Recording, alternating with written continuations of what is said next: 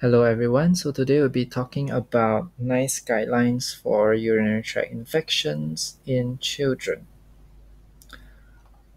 So under the overview for urinary tract infections, you have two categories that's under 16s and over 16s. But today we'll be talking about under 16s because we're talking about UTI in children. So what does NICE recommend for the assessment of UTI? So when do you suspect UTI and when do you test for the urine sample? When do you test uh, urine dipstick? So obviously when they have signs and symptoms suggestive of UTI, then you're going to test their urine. Other cases where you might want to test their urine more urgently, which is within 24 hours, is if they have a fever of 38 degrees Celsius or higher. This might point towards an upper UTI or also known as a pyelonephritis. Um, or if this child presents with fever and you already identified as there's another source of infection, such as maybe their pharynx uh, appears red, and then you you concluded that this um, this fever, the source of infection is uh, pharyngitis. So you treat for pharyngitis, and you wouldn't test their urine. However, if they don't respond to this treatment for pharyngitis, then you must suspect or maybe it's not just purely pharyngitis, they might have UTI at the same time.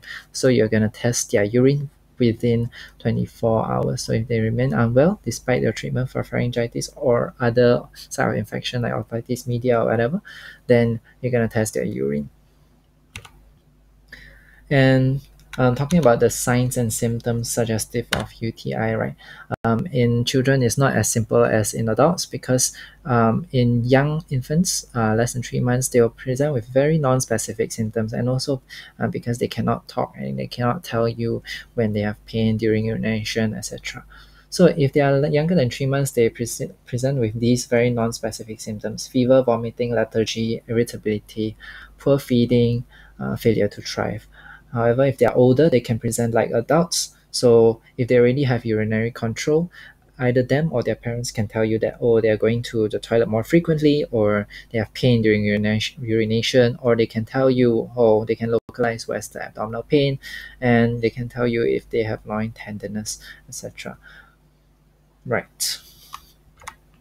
Now what does NICE say about the urine collection and pres- preservation of the urine so how do you collect the urine? So the recommended method, first line is clean catch, which is where you clean the perineum of the child and then you try and catch, you ask them to pee into a container and you catch the urine with the container. Um, if this is not possible, then you try another non-invasive method, uh, such as a urine collection pad or an adhesive plastic on the per- perineum to collect the urine. If this is not possible, then only you will think of invasive methods, such as inserting a catheter to obtain a urine sample or a suprapubic aspiration. A suprapubic aspiration is where you insert a needle above the pubis symphysis to um, try and extract some urine from the bladder. And before you do a suprapubic aspiration, you will want to do an ultrasound to see if there is presence of urine in the bladder. And how do you preserve the urine? If you want to culture the urine that you've collected, right, I did, you will need to culture it within four hours of collecting the urine. However, if this is not possible, you need to preserve it in one way or another. One way is to put it in a fridge, and another way is to use boric acid. And if you use boric acid, you need to uh, check the manufacturer's instruction for this boric acid and use the correct concentration of boric acid because if you put too much boric acid, then you might kill the bacteria in the urine and you will cause a false positive, false negative um, uh, urine culture. Right. So what does NICE say about urine testing? Um, in this case, we are looking at uh, your urine dipstick results and then when you want to send for microscopy and culture. So if less than three months, you're going to send straight for urgent microscopy and culture and you're going to uh, refer to pediatric specialists at the same time. If three months to three years, um, if um, both are negative, then you wouldn't do a urine microscopy. Um, so if, if three months to three years, you do a urine dipstick, and in the urine dipstick, you will typically be looking for two things, either the leukocyte esterase or nitrites. Leukocyte esterase is a enzyme produced by your leukocyte, which is also your uh, known as your white blood cells. Um, and whereas nitrites is something, uh, the is a product as a result of conversion of nitrates that is in your urine. And what causes this conversion into nitrites is certain bacteria such as E. coli. So if esterase and nitrites are both negative, so um, this uh, indicates that probably it is not an uh, UTI. So do not send urine for microscopy and culture if both are negative. Um, unless there is another indication. And one of these indications is that uh, maybe the child presents very clinically like UTI, but they don't correlate with the dipstick. So dipstick says uh, both negative means this is not UTI, but clinically you say, oh, this, uh, this, this kid has foul smelling urine, uh, it's presenting with uh, dysuria, then um, you say, oh, I trust my clinical judgment. I'm going to send for microscopy and culture anyway. Um, or if um, if you do the dipstick, and then if either one of leukocyte esterase, uh, either leukocyte esterase positive or nitrites positive or both positive, then you're gonna uh, start antibiotics and send for urine uh, culture. If it's more than three years, we'll look at the next page. If it's more than three years, um, if both leukocyte esterase and nitrites are positive, then you're gonna start antibiotics and you're gonna uh, send for microscopy and culture. If only nitrite is positive and leukoesterase, leukocyte esterase is negative, then you still suspect it's a UTI and you're gonna send for culture and you're gonna start antibiotics. However, if only leukocyte esterase is positive while nitrite is negative, then um, you depend on your clinical judgment. So you still send for microscopy and culture. However, um, you do not start antibiotics unless um, there is good clinical evidence of UTI. For example, there is obvious urinary symptoms and then if both are negative, then you would not send for microscopy and culture, and you would not start them on antibiotics, and you investigate for other causes of infection other than UTI. So what does NICE say about the interpretation of urine microscopy? So you look at the urine under the microscope, you're looking for two things. You're looking for white blood cells. Actually, you're looking for more than two things, but um, how to interpret for UTI is you're looking for white blood cells and you're looking for bacteria. So if white blood cells present, then you call it pyuria positive. If it's bacteria is present, then you call it bacteriuria positive. So um, when looking at the urine using a microscope, bacteria is more powerful than pyuria for indication of UTI. So if bacteria is positive, um, either whether pyuria is positive or negative, you're gonna regard them as having UTI. However, if um, bacteria is bacteria is negative and pyuria is positive, then um, you should only start antibiotics if they are clinically um, showing that they have UTI. And whereas if both are negative, then um, you will regard them as not having UTI. That's how you interpret the microscopy. So what does NICE say about the indications for urine culture? So when do you do the urine culture? So we mentioned before this that you if urine dipstick and both leukocyte esterase are negative and um, nitrites negative, then you wouldn't do a urine culture unless there are indications. So these are the indications. So if infant less than three months, uh, you're gonna straight away send for uh, culture. Um, intermediate to high risk of serious illness, you will do a culture. Um, suspected upper UTI, uh, as I mentioned before, fever more than 38 degrees Celsius, then you would suspect, uh, then you would send for culture. Um, so either leukocyte esterase or nitrite positive, then you would send for culture. Recurrent UTI, you will send for culture um, children with infection that does not respond to treatment within 24 to 48 hours, you will send for culture. Uh, when clinical symptoms and dipstick tests do not correlate.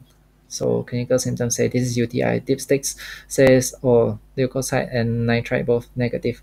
Then uh, but then you're gonna trust your clinical instincts and you still send for culture. So what are the risk factors of UTI according to NICE. So these are a few risk factors. I don't think I'm gonna go through them very detailed.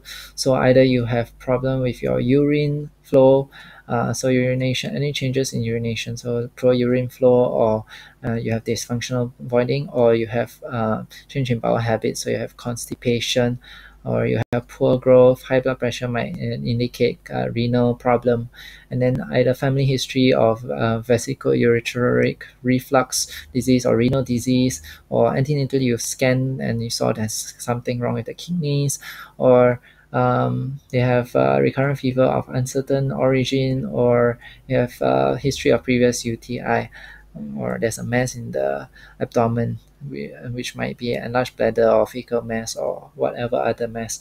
Or you look at the spine, you see evidence of uh, spinal lesion like spin, spina bifida, for example. This is, uh, these are risk factors for UTI and you're going to document them in your notes. So what does NICE say about how to differentiate between lower and upper UTI? So there are clinical methods and laboratory methods and imaging methods. So clinically, um, if the fever is more than 38 degrees Celsius, you would suspect upper UTI. Or um, if the fever is less than 38 degrees Celsius, but they have loin pain or loin tenderness plus bacteria in the urine, then you will suspect um, upper UTI. Um, laboratory tests, you're going to see the CRP. If the CRP is high, it will point you more towards upper UTI, but it's not recommended that you use CRP alone to differentiate between lower and upper UTI. Then you have imaging tests. Um, uh, imaging is not uh, routinely used to differentiate between upper and lower UTI. However, in rare instances where you really want to rule out upper UTI, um, then uh, power Doppler ultrasound is the investigation of choice, or you can do a DMSA scintigraphy scan. What is the uh, what is the antibiotic treatment for lower UTI recommended by NICE? So uh, I only remember the first line. So uh, for lower UTI, you're gonna do use trimethoprim or nitrofurantoin, and these are used for three days. And the doses, you it's not good to memorize doses for pediatrics. It's always um, better to uh, refer to the BNFC for the doses because it depends on their age, depends on their weight as well. So trimethoprim, nitrofurantoin, either trimethoprim or nitrofurantoin for three days. But if you want to do use nitrofurantoin, you must make sure that EGFR is more than 45. Right.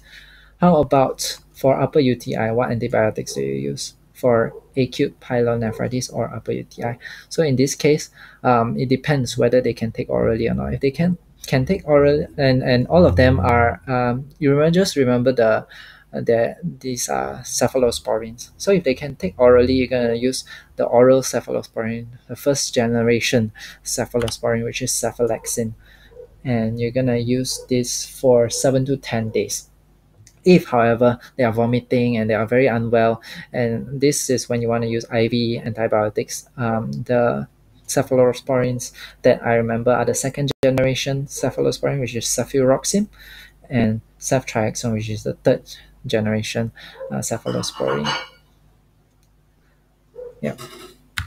And what does NICE say about antibiotics prescribing in recurrent UTI? And what does NICE um, mean by recurrent UTIs, either you have two upper UTIs or three lower UTIs or one upper and one lower UTI. This is when you say it's recurrent. So there's a uh, there's a graphic uh, summary about what you do for recurrent UTI. First, if they have recurrent UTI, they're under 16, then you're gonna first uh, you're gonna refer to specialists and you are going to first uh, try and advise them for behavioral and personal hygiene measures. So these include um, drinking more water, voiding more often, don't hold in your urine, um, and also about hygiene is mostly in females don't wipe from the back to front after you defecate. So if these don't help, if no improvement or no identifiable trigger, then you're gonna try daily antibiotic prophylaxis. However, um, this is uh, subject. You need to go. You need to get a specialist review first before giving uh, daily antibiotics prophylaxis for recurrent UTIs. So the daily antibiotics that you will be using for recurrent UTI is either trimethoprim or nitrofurantoin if EGFR is more than 45. And this is only with specialist advice. And I think that's all I have for you. Hope it helps with your revision. Thank you for watching.